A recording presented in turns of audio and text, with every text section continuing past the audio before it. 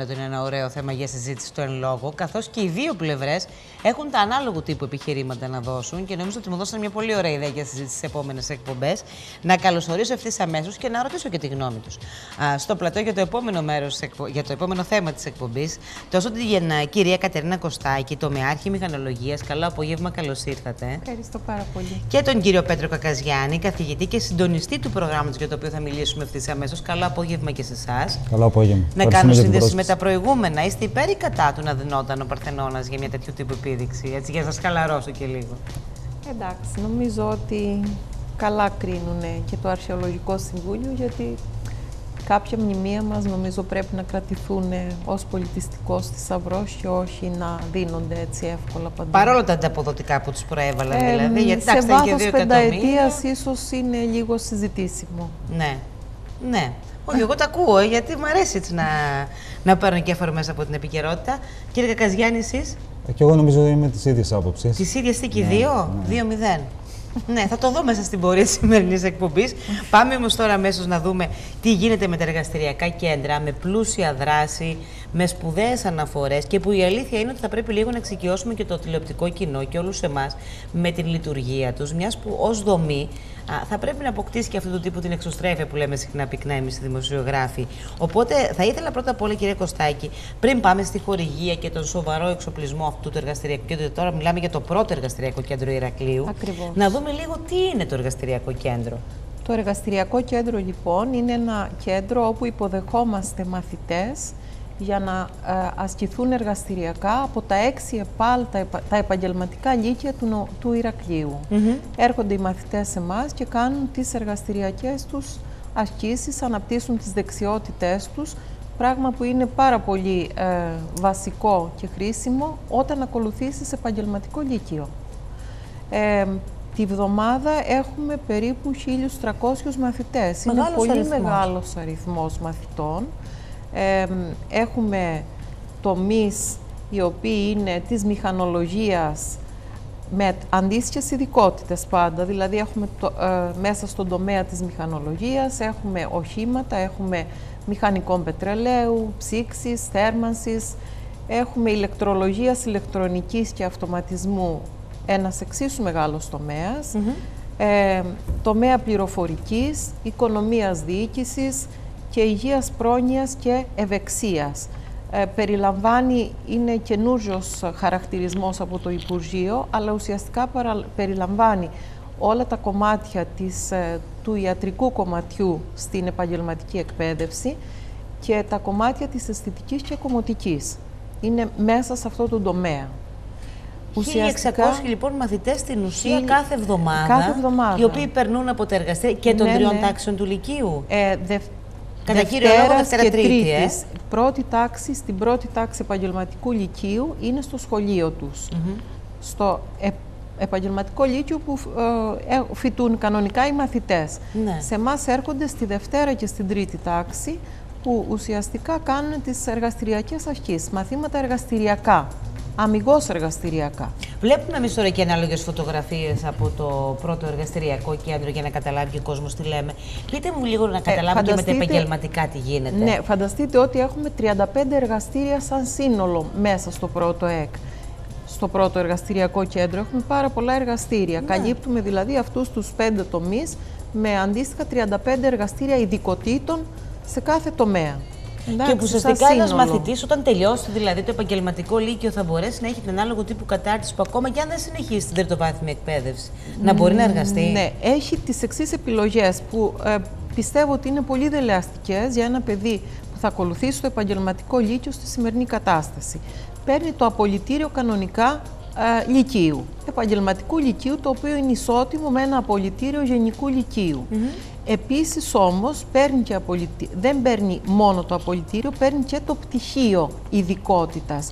Τι σημαίνει αυτό, ότι άμεσα μπορεί να ε, βγει στην αγορά εργασίας σαν τεχνίτης, ανάλογα με τον τομέα που έχει ακολουθήσει και την ειδικότητα στην αντίστοιχη ειδικότητα.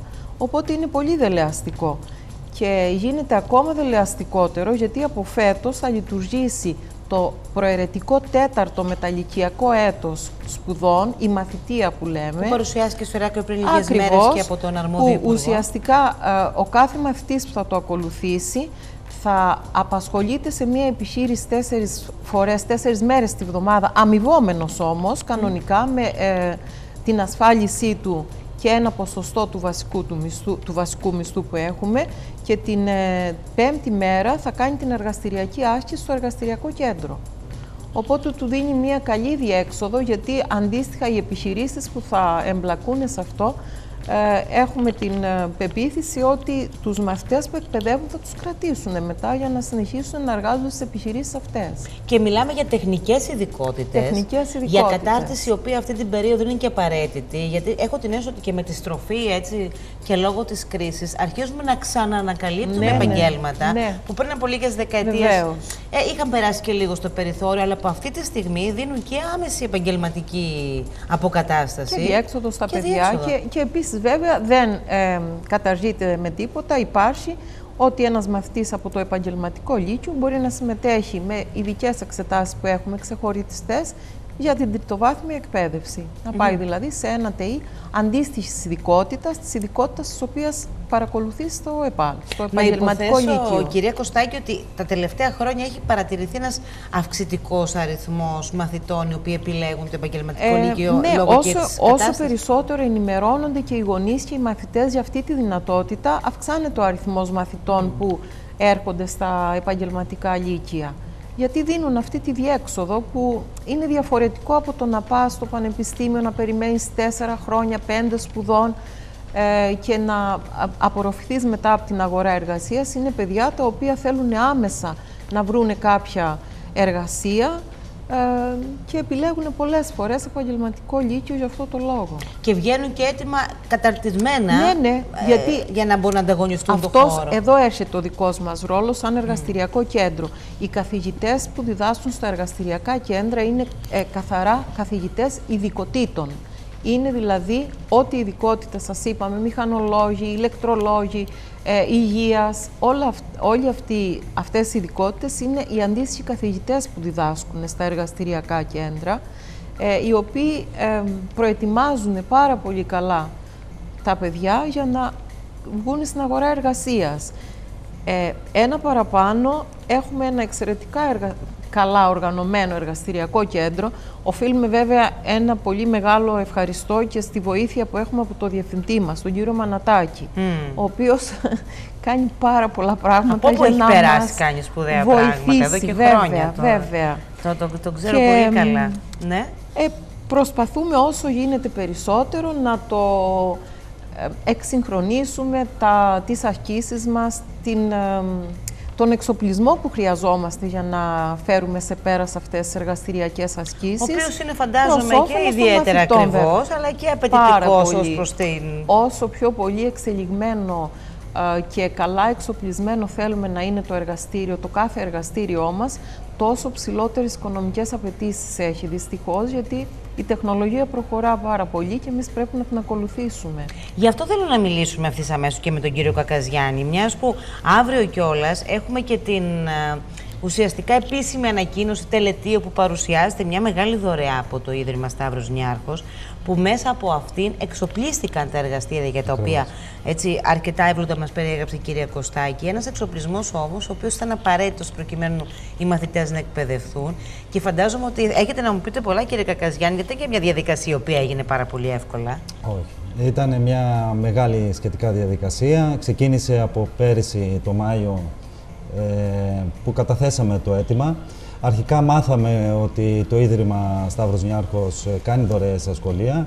Μπήκαμε στο site, ψάξαμε εκεί πέρα, είδαμε το μεγάλο έργο, το κοινωνικό έργο που επιτελεί. Mm Περισσότεροι γνωρίζουμε ίσως ε, το κέντρο πολιτισμού ναι. που έχουν έχει Εντυπωσιακό και αυτό με από τη φύση του και από τη δράση του. Ναι. ναι. Αλλά μπαίνοντας μέσα στην σελίδα είδαμε ότι σε διάφορους τομείς, όπως είναι ο τομέας της παιδείας, ε, των τεχνών, πολιτισμού, της υγείας, της κοινωνικής πρόνοιας, έχουν κάνει πολύ σημαντικές δωρεές.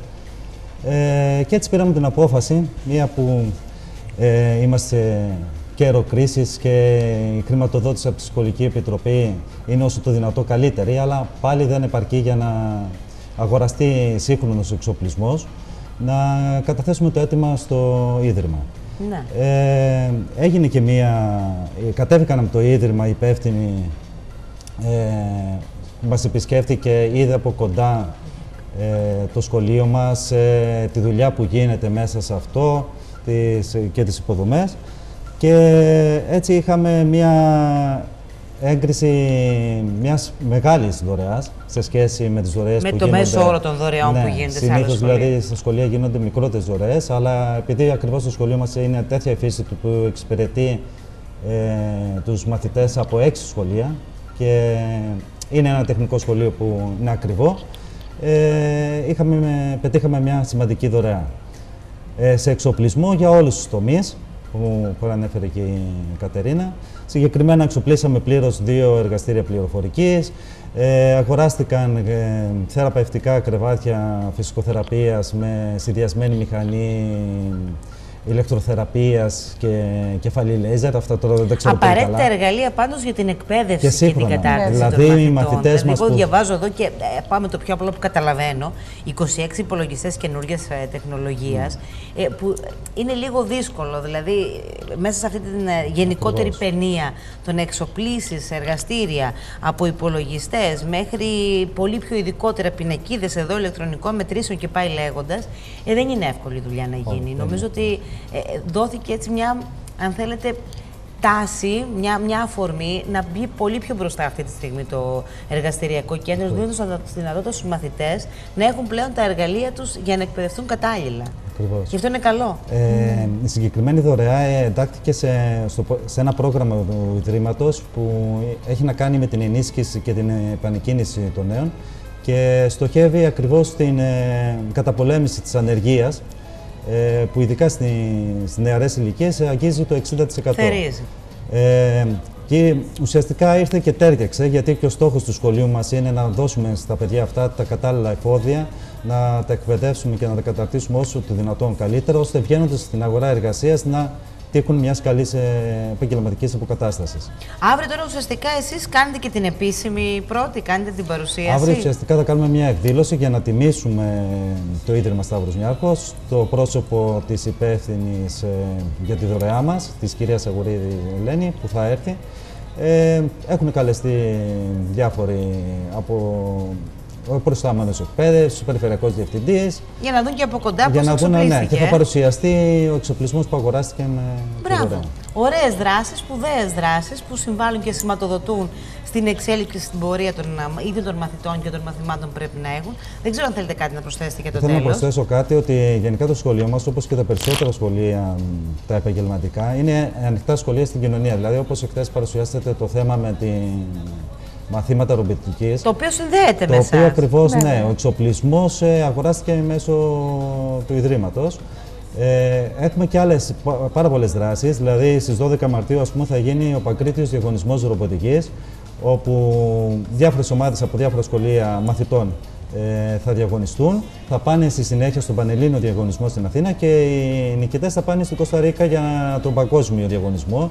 Ε, διοργανώνεται ας πούμε, από τον τομέα ηλεκτρολογίας ε, κάθε χρόνο μήνας ηλεκτρικής ασφάλειας, όπου απευθύνεται πλέον στο ε, ευρύ κοινό, σε όλους τους χρήστες ηλεκτρικής ενέργειας και γενικά ε, δεν είναι ένα σχολείο που απευθύνεται μόνο στους μαθητές του. Απευθύνεται από μαθητές του δημοτικού μέχρι ηλικίου, σε επαγγελματίες του χώρου, ε, όπου γίνονται διάφορα σεμινάρια ενημερωτικά και όλα αυτά για- βέβαια γίνονται με το μεράκι των ε, καθηγητών που πέρα από το ατυπικά που πρέπει να κάνουν ε, στο Τα σχολείο αγαπάτε. των, ε, Τα ναι. αγαπάτε και το, το φροντίζετε. Και αυτό είναι σημαντικό. Και είναι και σημαντικό να μαθαίνουμε και εμείς για αυτές τις δράσεις. Δεν σας κρύβω εγώ Εδώ για τα είμαστε, μας εργαστηριακά κέντρα καλέσατε. δεν ήξερα.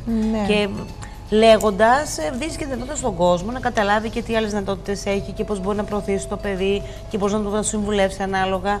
Όσο πιο πολλά γνωρίζουμε, τόσο πιο άρτια ε, και καλύτερη απόφαση Ναι, παίρνουμε. Ε, θέλω να προσθέσω ότι εκτός από τα έξι επαγγελματικά λύκεια που έρχονται στο χώρο μας για, τα εργαστη... για τις εργαστηριακές τους ασκήσεις των μαθητών τους, επίσης φιλοξενούμε και τα δύο ΙΕΚ του Ηρακλείου και επίσης ξεκινάει α, από αυτές τις μέρες το πιλωτικό πρόγραμμα μαθητείας που είναι σε όλη, το πρώτο που γίνεται στην Ελλάδα. Και σε όλη γίνεται την σε Ελλάδα εμάς. και γίνεται εδώ. Ναι. Είναι πολύ σημαντικό. Οπότε είναι πολύ βασικό. Καλή συνέχεια, καλή δύναμη. Ευχαριστούμε πάρα Και ό,τι πολύ. ωραίο έχετε να έρθετε να μας το λέτε.